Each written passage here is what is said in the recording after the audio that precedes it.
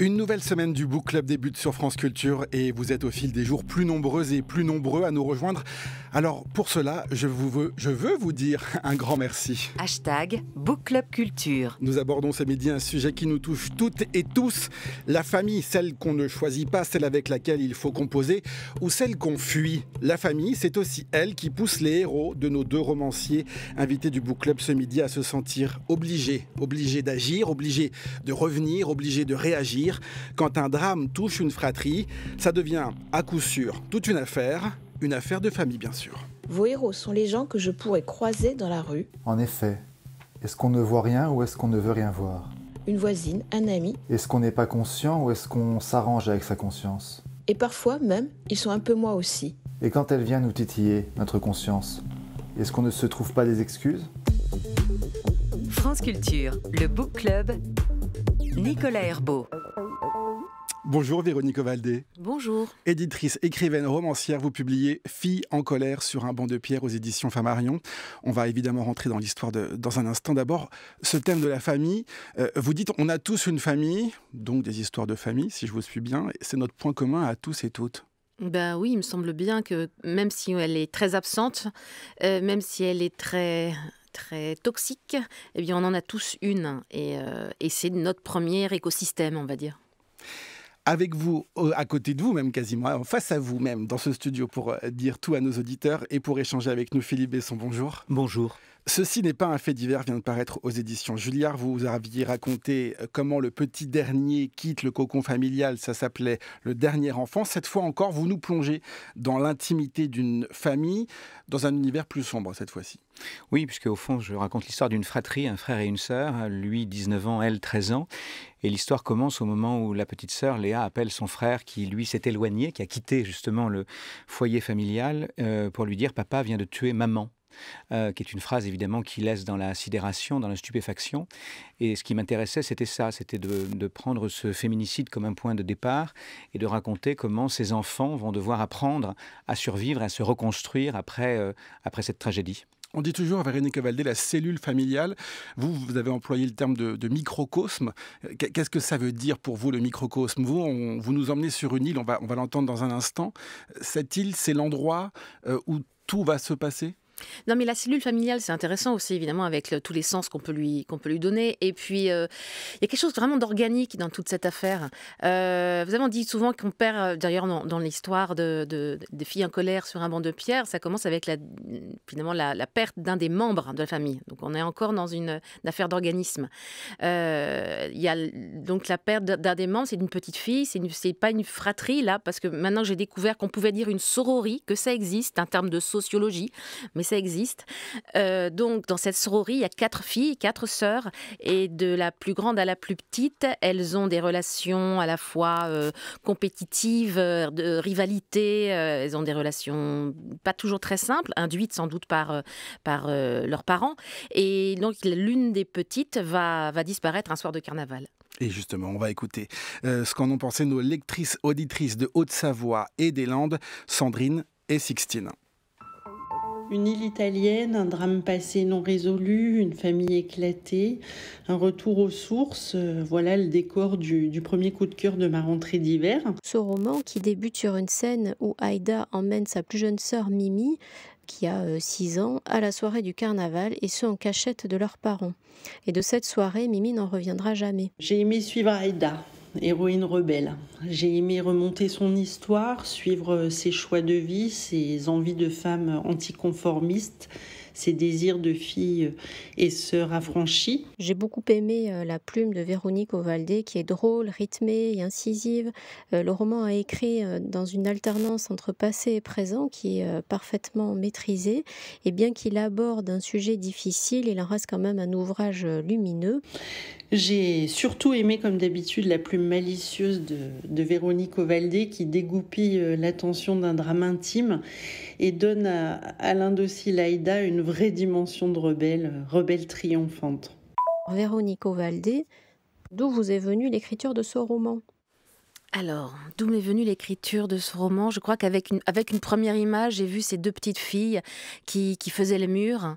Et, je crois qu'en fait, ça commence souvent par une euh, forme d'évasion, je pense, les textes, euh, les textes que j'écris, et puis essayer de comprendre euh, ce qu'elles sont en train de fuir et vers où elles se dirigent.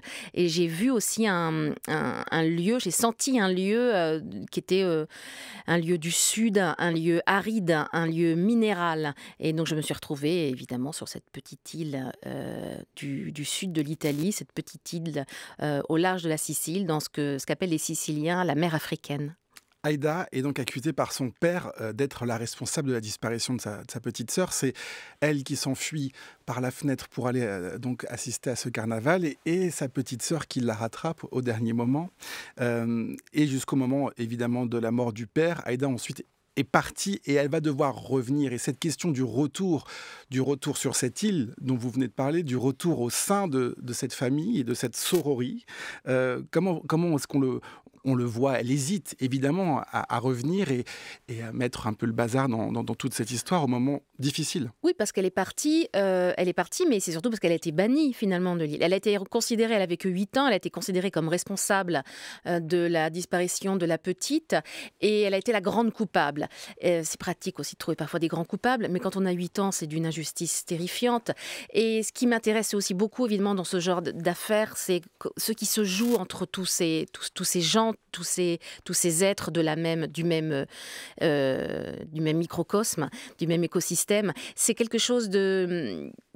Qui, enfin, j'ai l'impression que là, peut, se dérouler euh, la totalité des passions humaines, qu'elles soient euh, celles de la colère, de la jalousie, euh, de l'amour évidemment aussi, et, du désespoir et, de la, folie douce aussi, parce qu'en fait dans cette affaire-là, on a la mère qui, elle, n'a jamais reconnu, n'a jamais vraiment compris que sa petite fille avait, avait disparu, elle s'était évaporée et qu'il y avait quand même à peu près aucune chance qu'elle revienne. Et Tandis que le père, lui, dans sa, dans sa douleur, dans son chagrin, euh, il, euh, eh bien, il va, il va faire comme il peut aussi et il va accuser, finalement, accuser et rendre responsable euh, Aïda. Et donc, elle, quand elle part, elle va tenter de se construire et peu à peu, son remords, sa culpabilité vont se transformer en colère. Parce qu'en fait, finalement, c'est inadmissible de, de, rendre responsable une petite fille de 8 ans de quelque chose de ce genre. Et quand elle va revenir, parce qu'elle va revenir à la mort du patriarche, elle va revenir parce qu'en fait, je crois qu'elle a très envie d'en découdre. Elle a très envie d'en découdre et ça se matérialise par cette expression euh, commune euh, utilisée et par les deux sœurs restantes sur l'île et par Aïda. Ça s'appelle Ouvrir la boîte de Pandore, dit l'une des deux sœurs, et Aïda dit la même chose. Revoilà Pandore, commente la narratrice qui sort de sa boîte comme un diablotin grimaçant. C'est l'image qui lui vient en tête. C'est parce qu'elle ne sait plus bien qui est Pandore il y a un choix très difficile à faire. Est-ce que je reviens ou pas? Est-ce que j'embrase euh, les relations entre, entre moi et mes sœurs? Oui, particulièrement parce que Aïda, afin de se, de se façonner une vie à, peu près euh, acceptable pendant ces 15 ans où elle vit à Palerme, elle a... Euh, elle a, elle s'est caparaçonnée en quelque sorte. Hein. Elle a, elle a, elle est très, euh, elle a canalisé euh, toute sa, tout, sa, toute sa douleur et son chagrin, et donc elle est, elle est devenue d'ailleurs un personnage assez, une personne assez caustique, euh, parce que je pense que, en effet, le, chagrin n'exclut pas le l'humour et la, et la douceur, mais elle est, elle est aussi très isolée et solitaire. Elle est, c'est une personne, elle aussi un peu minérale. Et donc, elle a, elle a d'ailleurs, je dis qu'elle a, pour ne pas se laisser envahir, pour ne pas se laisser submerger par les pensées inadéquates, elle a euh, construit des digues euh, comme, euh, comme la Hollande aurait construit des digues, a construit des digues pour se protéger de la mer du Nord. Alors, dans ces questions familiales, Philippe Besson, évidemment, il y a des choses qui vous parlent. La disparition, la colère, on va y revenir dans un instant. Un lourd secret d'un côté, celui qui touche la disparition donc de Mimi, et un terrible silence, celui qui a mené au, féminicide dans votre roman, Philippe Besson. On va écouter Sébastien de Tours qui l'a lu. En effet, est-ce qu'on ne voit rien ou est-ce qu'on ne veut rien voir? Est-ce qu'on n'est pas conscient ou est-ce qu'on s'arrange avec sa conscience? Et quand elle vient nous titiller, notre conscience, est-ce qu'on ne se trouve pas des excuses? J'interprète, je me fais des films. S'il y avait un problème, elle me le dirait. Je ne vais pas me mêler de leur intimité, je n'aimerais pas qu'ils se mêlent de la mienne. Et quand après coup la vérité est dévoilée, cette vérité qui se trouvait sous nos yeux et qu'on n'a même pas aperçu, on peut encore se dire ils cachaient bien leur jeu, enfin surtout lui, bien sûr, il nous a manipulés. Et elle, de toute façon, elle a toujours épuni à se donner en spectacle. On déniche même des formules définitives. On ne pouvait pas imaginer l'inimaginable. Avec sobriété, Philippe Besson rend visibles les invisibles. Il donne avec justesse une voix à celles et ceux qui gardent le silence. Ces collatéraux, ces silencieux, qui peuvent être à la fois les témoins et les victimes oubliées de ces drames que sont les féminicides et les violences conjugales. Ce livre est un hommage aux enfants et aux adolescents qui ont dû grandir et se construire avec ce qu'ils ont vu et entendu, car nous avons été les témoins directs de ces violences physiques et psychologiques. C'est pourquoi ceci ne doit plus être un fait divers, mais bien un fait politique. Philippe Besson, les lecteurs, auditeurs euh, du Book Club ont été très sensibles au fait que vous vous empariez de ce thème de société, comme l'a dit euh, Sébastien, le féminicide.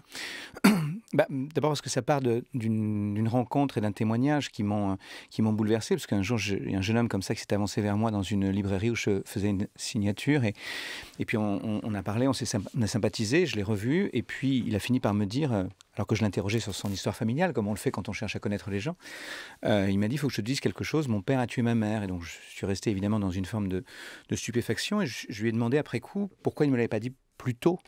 C'était pas un reproche, mais j'essayais de comprendre. Et il m'a dit à ce moment-là deux, choses qui, euh, qui, ont décidé de l'écriture. La première, c'est euh, la mort de ma mère emporte tout, et moi je suis à côté. Alors les gens qui sont à côté, moi ça m'a toujours intéressé. J'écris jamais sur les gens qui sont pile dans la photo, j'écris toujours sur ceux qui sont pas bien dans la photo, qui sont un peu coupés sur la photo. Et puis, euh, il m'a dit aussi, j'aurais pas les mots pour raconter de toute façon, je sais pas dire. Et quand, euh, quand les gens savent pas dire, peut-être que les écrivains ont, un rôle à jouer pour essayer de donner une parole à ceux qui parlent pas, pour essayer de réparer ce silence-là.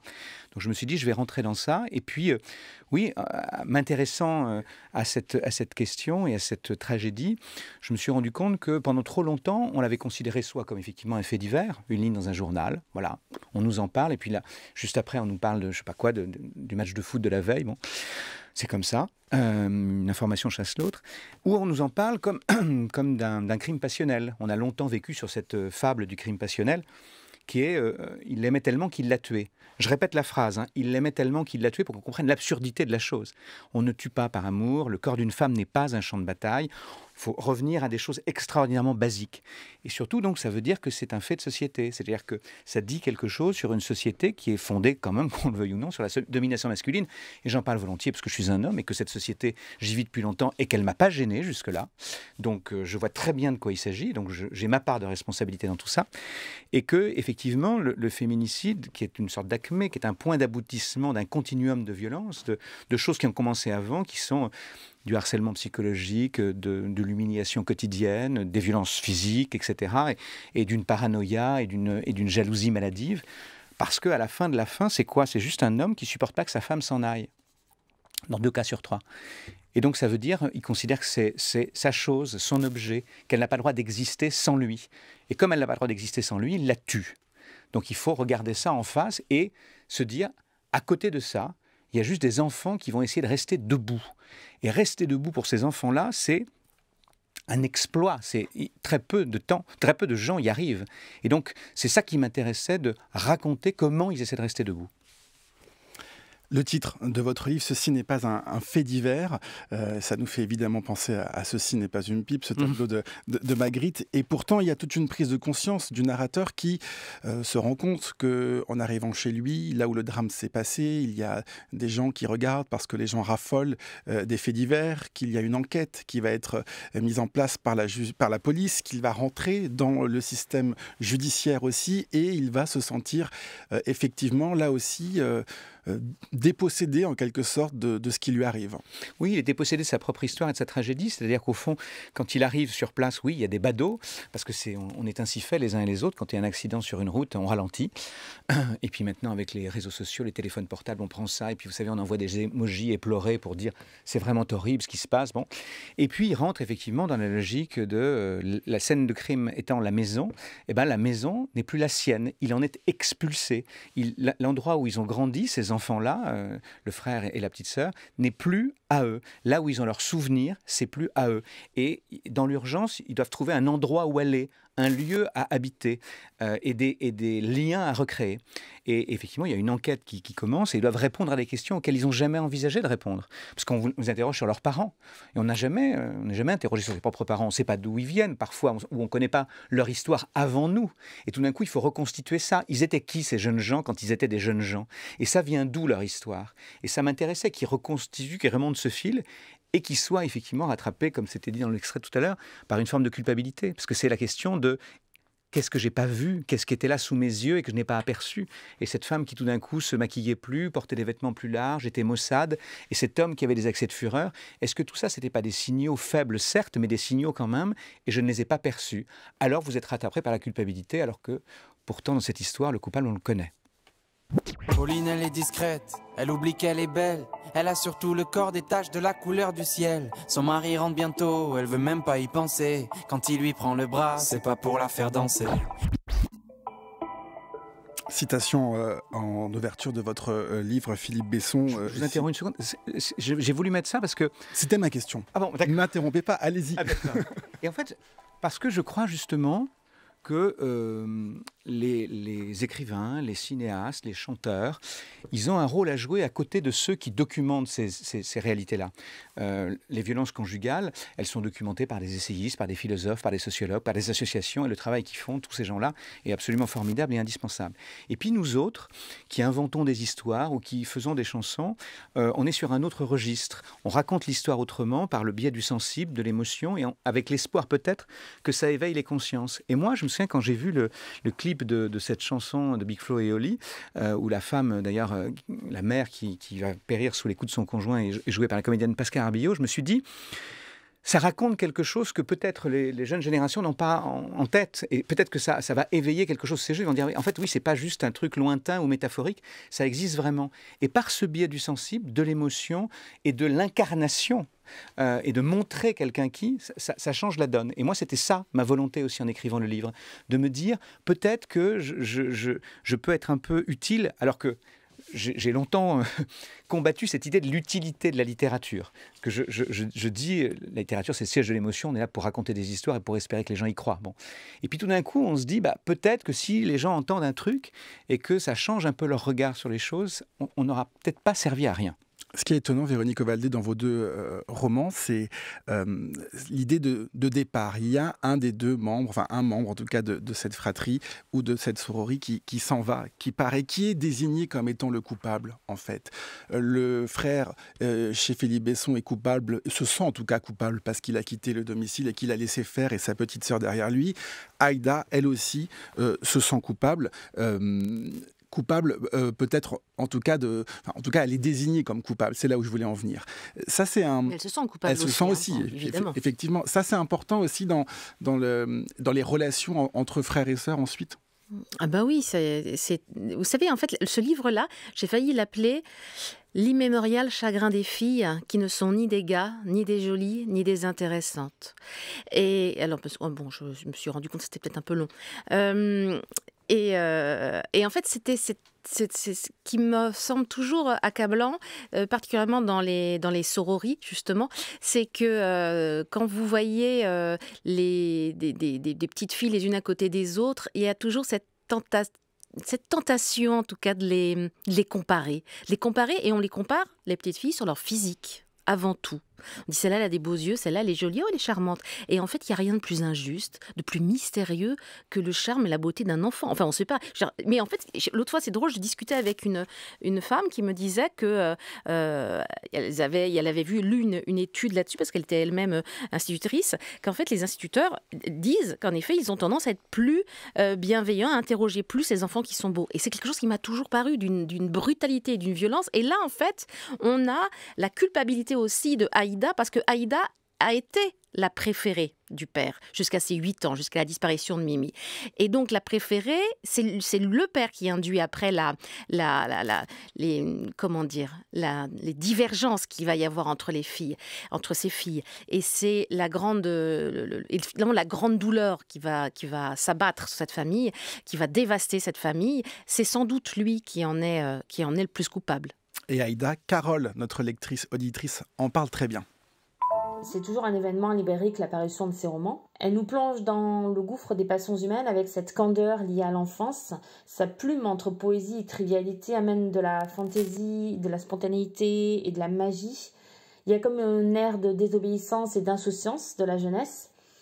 Euh, j'aime que ces romans soient peuplés d'héroïnes qui ont l'audace de prendre leur destin en main et de s'extirper de la coupe patriarcale vers une émancipation nécessaire. Et j'ai eu plaisir à écouter cette petite voix malicieuse de l'autrice narratrice sur mon épaule qui vient vous mettre en garde et vous éclaire sur ce qui vient. Un petit extrait de ce roman, de son dernier roman, pour euh, montrer la période de l'enfance qui est importante dans ses écrits. Elles étaient quatre sœurs inséparables promises à la plus belle vie. Profitez de votre enfance, le monde se chargera de vous briser le cœur bien assez tôt. Et j'ai envie de poser une question à l'autrice. La fuite, d'une manière ou d'une autre, est-elle nécessaire pour diluer le poids de l'histoire familiale? Et est-ce que l'enfance est un terreau d'écriture? Alors, la fuite, en fait, je préfère le terme d'évasion parce que vrai, je me dis que la fuite, il y a quelque chose d'un peu négatif dans ce terme. Je réfléchissais à ça l'autre fois. Mais est-ce que ce n'est pas le cas, honnêtement? Même, même chez vous, Philippe Besson, quand le jeune homme s'en va, il, fuit sa famille. Aïda, elle fuit l'île à un moment donné. Oui, oui, bien sûr. Il y a ça, il y a quelque chose comme ça. Mais justement, pour un tout petit peu euh, calmer la culpabilité, euh, parce qu'on est nombreux quand même à avoir une culpabilité active. Donc, ça, ça me semble parfois bien de se dire qu'on s'affranchit. L'affranchissement me semble un terme beaucoup plus plus, juste presque. Après, ça, évidemment, ça n'exclut pas malheureusement le, remords, parfois les regrets.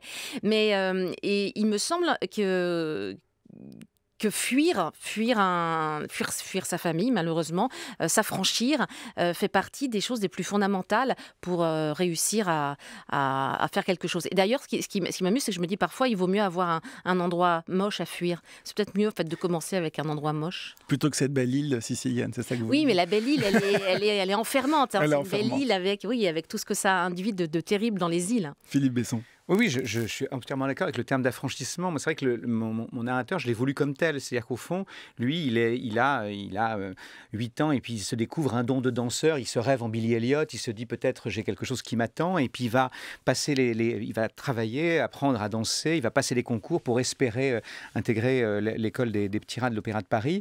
Il va finalement y arriver et il s'en va à l'âge de 14 ans, ce qui fait qu'effectivement il est éloigné du drame familial et de ce qui se passe parce qu'il n'est pas là. Mais, mais lui, c'est l'occasion de s'échapper de s'en aller, de s'évader et, de se, et de, se débarrasser ou de s'éloigner du père, qui pour lui est un père aussi un peu toxique, il l'a bien compris.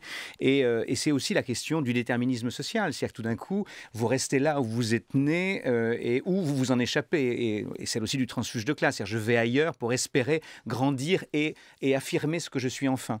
Et puis tout d'un coup, il est rattrapé par le réel, il est rattrapé par l'horreur de ce qu'il a fui. C'est ça la, la réalité, c'est qu'au fond, à un moment, vous vous en allez et puis vous décidez qu'il faut revenir parce qu'il faut sauver ce qui peut l'être et vous, serez pas, vous ne serez jamais Billy Elliot.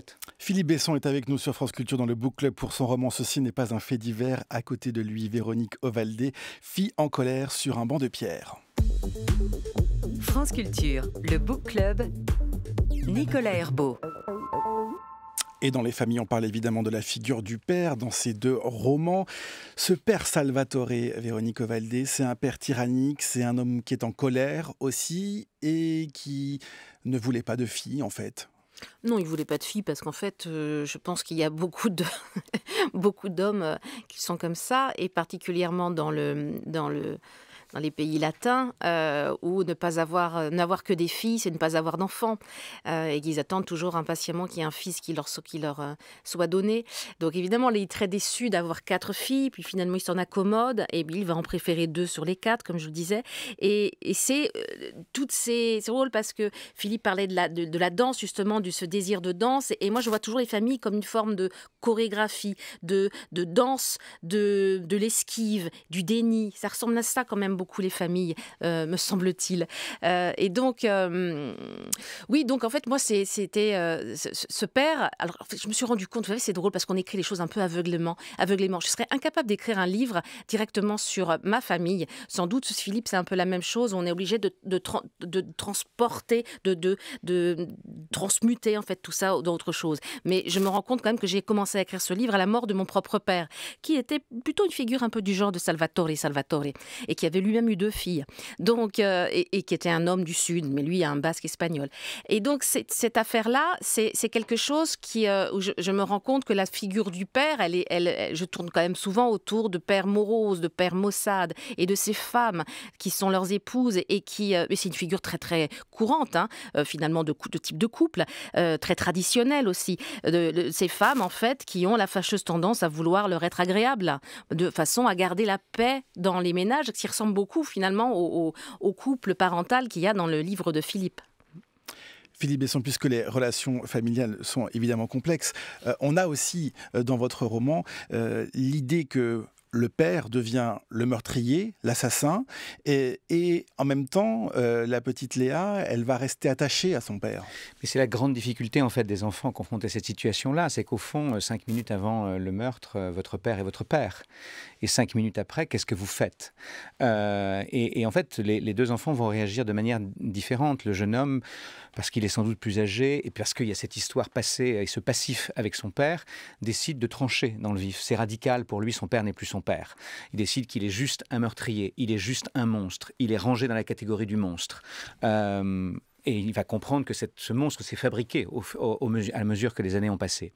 De l'autre côté, la petite fille, elle a 13 ans, elle a vécu auprès de ce père-là, elle était encore avec son père et sa mère, et elle est dans une ambivalence tragique, terrible, parce que l'amour, ça s'en va pas d'un coup. L'amour, ça disparaît pas d'un coup. Elle, elle, elle, se dit, quand même, c'est encore euh, cet homme-là qui m'a élevé, avec qui j'ai passé de beaux moments. Et vous savez, c'est d'ailleurs une situation qu'on voit, par exemple, dans les violences conjugales, on est toujours surpris parce qu'on voit les femmes revenir. D'ailleurs, dans le cas des féminicides, c'est parce qu'il y a des statistiques là-dessus assez, affreuses, mais souvent le féminicide arrive alors que les femmes sont parties trois, quatre fois. Et c'est à la quatrième fois, quand elles partent la quatrième fois, qu'elles sont tuées. Mais donc, elles étaient parties et revenues. On se dit, mais pourquoi elles reviennent?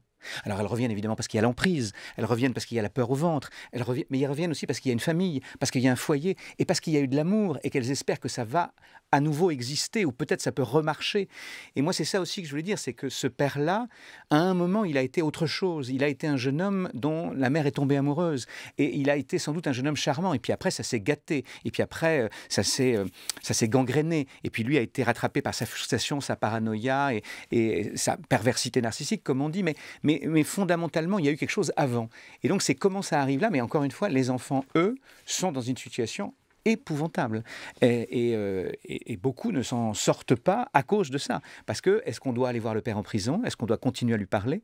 Sachant que, par ailleurs, la loi française a ceci de terrifiant que euh, lorsqu'un père commet un féminicide, il garde l'autorité parentale sur les enfants mineurs je redis, il garde l'autorité parentale. Parce que c'est aussi des choses que j'ai découvertes en écrivant ce livre. Parce qu'il a fallu que je le relise pour être tout à fait sûr. On assiste dans votre livre à cette scène où euh, Léa, la jeune, et son frère, et son grand frère, vont négocier, ça. avec l'avocat, avec que ce soit quelqu'un d'autre, que ce soit le grand-père. Oui, c'est ça. Parce que comme il est encore innocent à ce moment-là, et tant qu'il n'a pas été déclaré coupable, euh, il garde l'autorité parentale. Alors que on est, on va, parce que on peut considérer qu'un homme qui tue la mère de ses enfants n'est pas forcément un bon père. Bon, et donc euh, ils vont essayer de changer c'est d'ailleurs le grand-père qui va récupérer euh, les enfants dans, l'histoire. Et c'était important pour moi aussi que ce soit un homme et un homme d'une autre génération qui, qui, sauve le navire aussi, qui soit aussi là pour essayer de se dire je vais essayer d'emporter les enfants avec moi et de les sauver. Euh, voilà, parce que tous les hommes ne sont pas des monstres, on va le dire ici quand même. Tous les hommes ne sont pas des violents, on est d'accord. Euh, mais ceux qu'ils sont, par contre, il faut les pointer du doigt et essayer de comprendre d'où ça vient et comment ce, cette violence s'exerce. Mais, en tout cas, cette ambivalence des enfants à l'égard de leur père, oui, elle est, compliquée, c'est comme dans ton livre. C'est compliqué aussi parce que ce père-là est une figure et donc on aime cette figure et puis on la déteste en même temps. Et puis quand il meurt, et eh ben on vient quand même parce qu'il meurt. Et il faut faire avec. Aïda aussi, euh, elle, avance dans, votre roman une fois qu'elle est, qu'elle est revenue. Euh, comment, comment, et elle pense beaucoup à, sa petite sœur, évidemment, et elle se demande qu'est-ce que j'aurais dû faire, qu'est-ce que je n'ai pas fait. Euh, on va évidemment pas tout, pas tout raconter, mais il y a par exemple cette phrase qui résonne tout le temps dans sa tête, mais à quoi bon durer?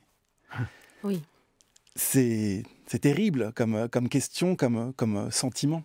Alors ça, c'est la petite qui dit ça à un moment donné, et qui dit ça, et elle se demande euh, à Ida, euh, la petite, quand elle, euh, quand elle disparaît, elle a 6 ans, donc elle dit cette phrase étrange, à quoi bon durer Et, et Aïda est très surprise, très surprise parce qu'elle se dit, bah, est-ce que c'est quelque chose qui était dans une, chansonnette qu'elle a entendue? Comment elle peut dire quelque chose de ce genre-là?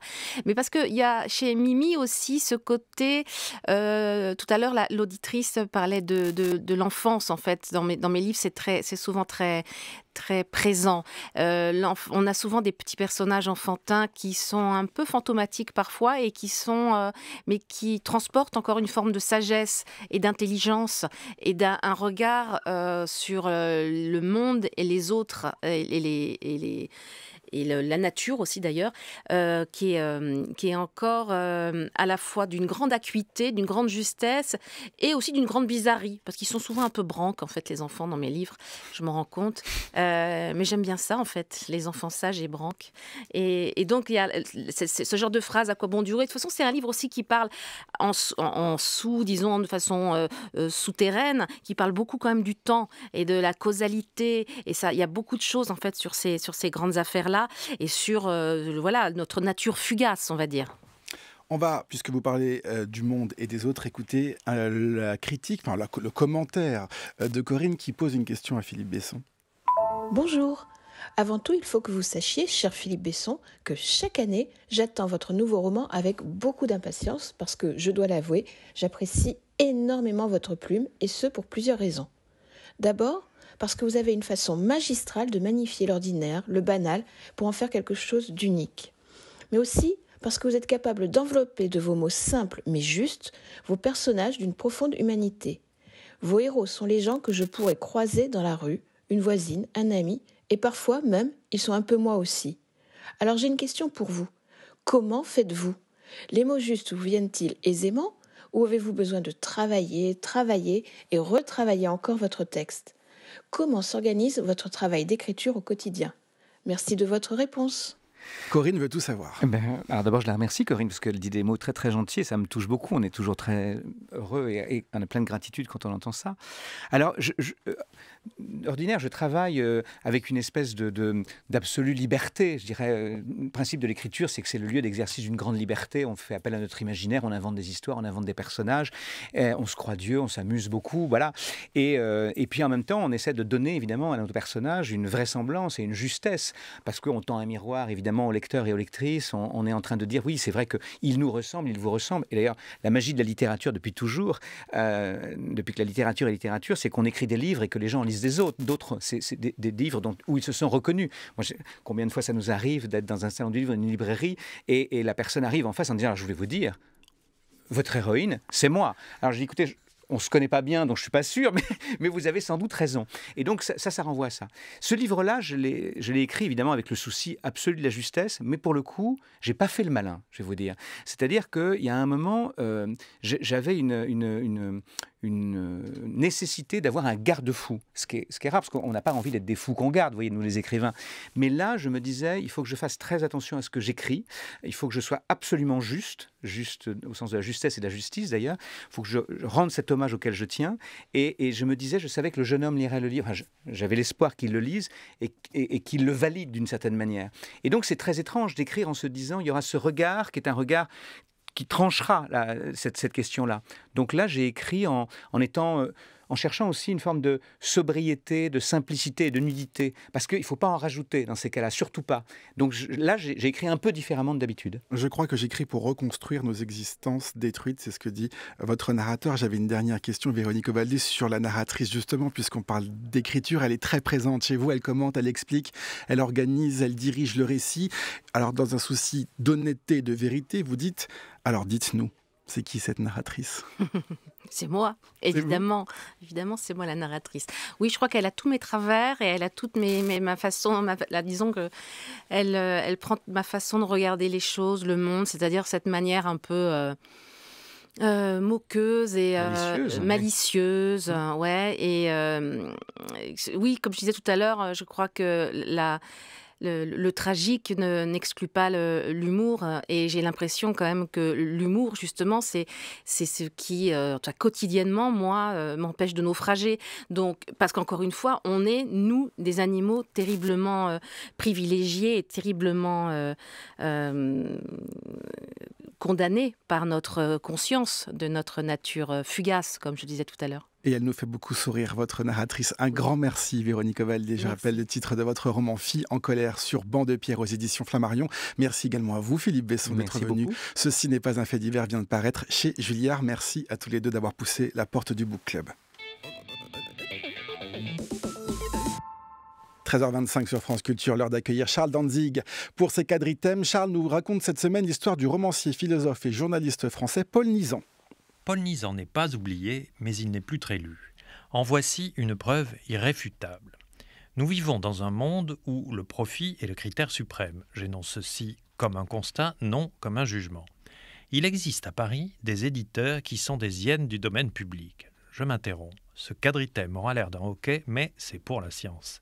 L'H du moyenne est muet ou muette, puisque, comme ceux des villes, les noms des lettres sont ou bien du masculin ou bien du féminin. On dit donc lienne et lésienne. Cela dit, qu'est-ce qu'une règle non respectée, sinon une règle qui finit par avoir tort, surtout quand, comme ici, elle n'est pas vraiment fondée en raison? Tout le monde dira un jour la hyène et ça sera très bien. J'appelle hyène du domaine public les éditeurs sans imagination qui, dès qu'un auteur tombe dans le dit domaine où plus rien n'est à payer, le réédite dans l'espoir de gagner de l'argent.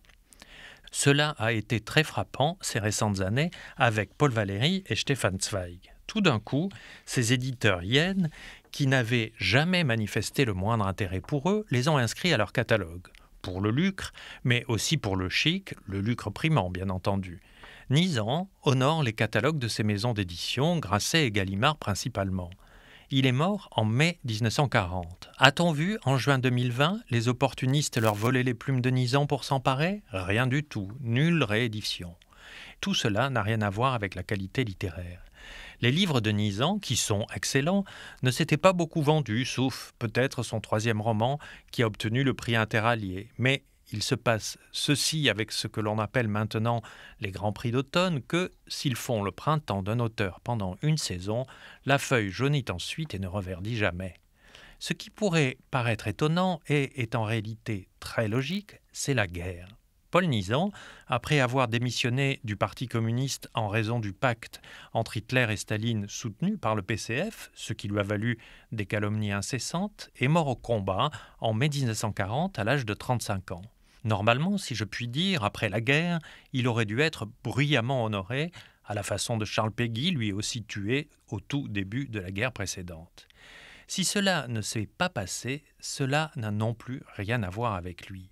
Il y est entré de la calomnie perpétuée du Parti communiste et de son chien de garde Aragon, qui en a fait un personnage de traître dans un de ses romans, et le PC était très puissant après la guerre, mais je pense surtout que Nizan a payé la honte de la France.